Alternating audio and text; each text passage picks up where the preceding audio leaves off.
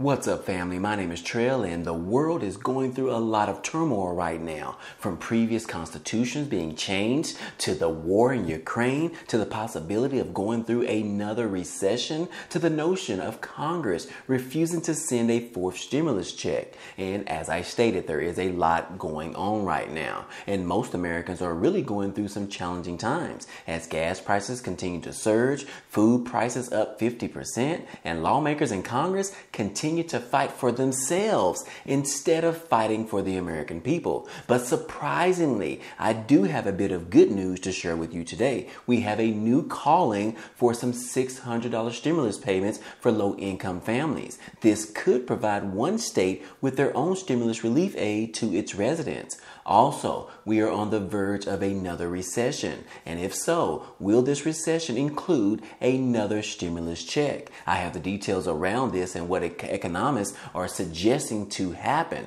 But before we get started, I want to remind you that on this channel, we cover everything from what's going on around the world with the stock market, with the war in Ukraine, as well as multiple daily news stories around the world. So if you are interested in any of these topics today and you want to be a part of this channel, be so kind. Go ahead and subscribe. It's totally free. And if you end up liking today's video, then go ahead and hit the like button for us. It really helps out this channel. Now let's go ahead and start with the video. All right, guys, real quick, I wanted to remind you about that promotion with Chime Bank where you can receive a free $100 in a couple of weeks. Chime Bank is still offering new customers free $100 if you sign up using a referral code and then setting up a direct deposit up to $200. Now, once that $200 is deposited into your account, they will immediately deposit an additional $100. Yes, guys, I actually did this and it is legit. So I want to share it with you today because this is a way to get some free money. So if you have income and you want to receive this free $100,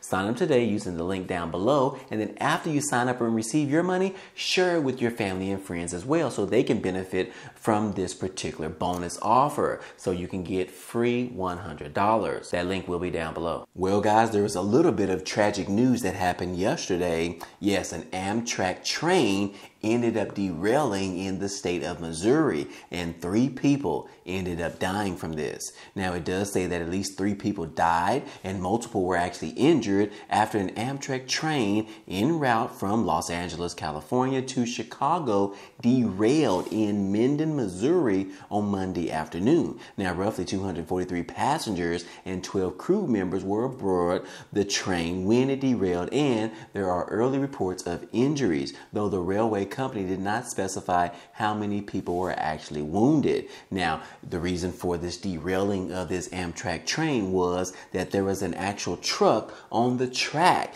in which that particular individual ended up losing his life as well because the train actually rammed into that particular truck. So, again, guys, just wanted to share that with you so that you guys can go ahead and lift those prayers up and pray for those individual families as well as those individuals that were injured from this train wreck.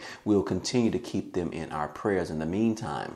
Moving on, guys, hey, the billionaire Mark Cuban, who owns the Dallas Mavericks, is reacting to some praise that he received because of the new company or or the pharmacy that he actually created. Yes, I told you guys a couple of months ago that Mark Cuban started this pharmacy to offer some of the generic drugs, prescription drugs, to low income families for a cheaper rate than getting it from either Walgreens or Kroger's or different places like that. And Mark Cuban said in a statement, he said that, look, we are just getting started. And yes, for those of you who don't remember, yes, Mark Cuban started this online pharmacy claiming to offer lower prescription drug prices. And yes, guys, in a recent report that was published, said that Medicare could save around $3.6 billion per year if it purchased drugs through Mark Cuban's pharmacy. And yes, if Medicare purchased generic drugs in the maximum quantity supplied by the MCC PDC, it could have saved around $3.6 billion.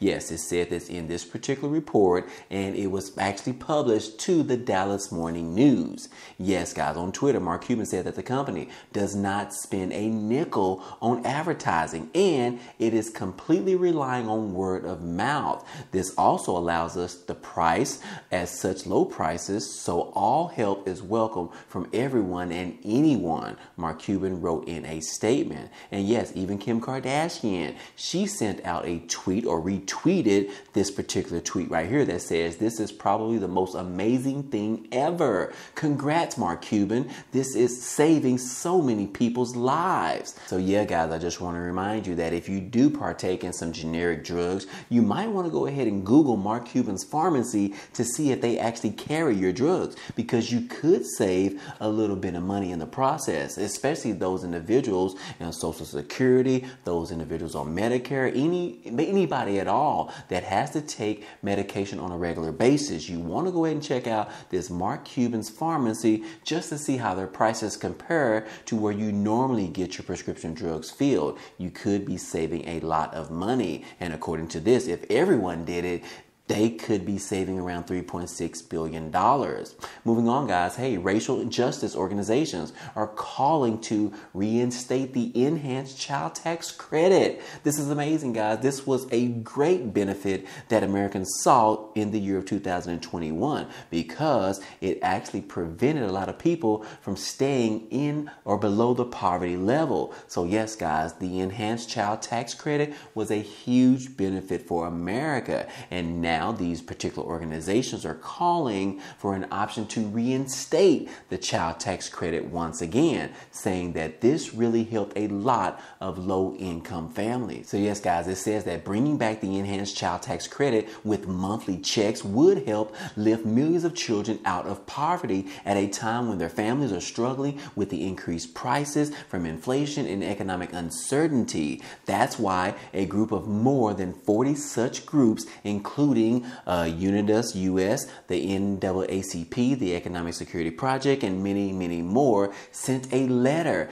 advocating the reinstatement of the enhanced tax credit to Senate Majority Leader Chuck Schumer. Now, in this letter, the groups noted the impact that the ending of the enhanced credit had on families, low income families, and especially families of color when it actually expired at the end of last year. But the impact on the end of the monthly CTC payments has been particularly profound and painful for communities of color. But, anyways, guys, these particular groups, I believe 40 different groups, are calling on Congress, calling on lawmakers, calling on Senator Majority Leader Chuck Schumer to reinstate the child tax credit, to fight for the low income families in this country, saying that they really benefited from this program. And I will say, guys, yes, it is in fact those individuals who fit the description of low income as well as moderate income families really benefited from this child tax credit. It really helped their families out in need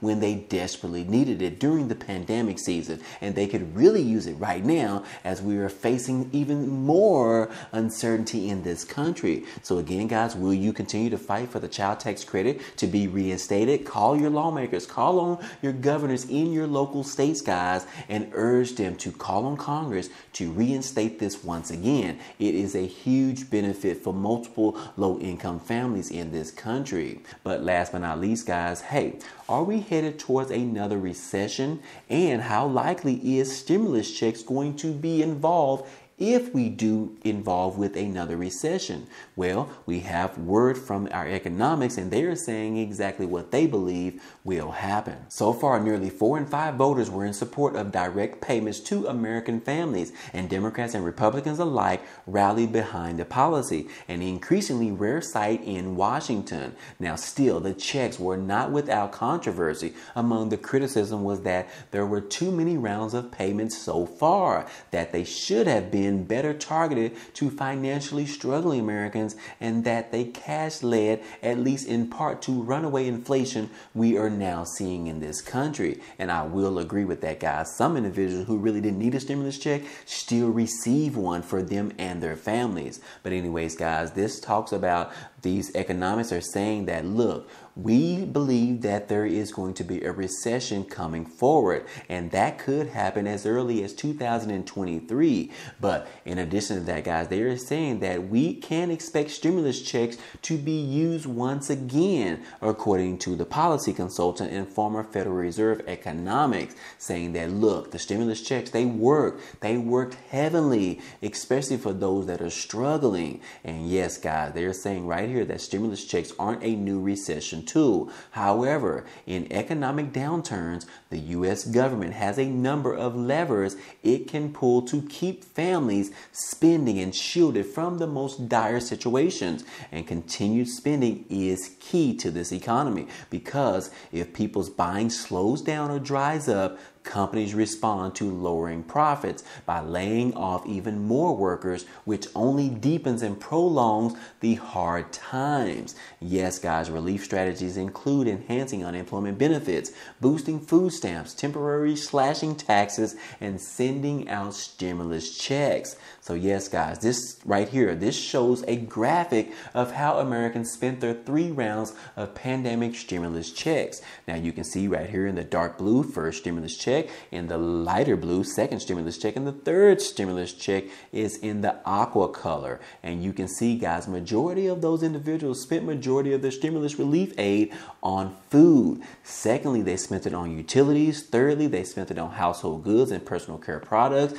Uh, fourth, paying off debt. Number five, paying their rent off just to have a place to live. Number six, vehicle payments. Number seven, paying it on their mortgage. Again, having a place to live. And then lastly, Lastly, we have clothes, savings and investments, household electronics, others, recreational goods, and for charity, which is very shocking. You, st- you spent your stimulus checks on charity. That means you didn't need stimulus checks in the get go. So, again, guys, this is going on from economics saying that if we do have a recession, I guarantee that there will be another form of stimulus checks. And what do you know, guys? We have another article about stimulus checks. And because, particularly in this particular state of Oregon, they're saying that more than 230,000 lower income households are going to receive $600 stimulus payments. Now, it says that, look, a tax credit that is aimed at giving a tax break to people with low to moderate incomes is also giving eligible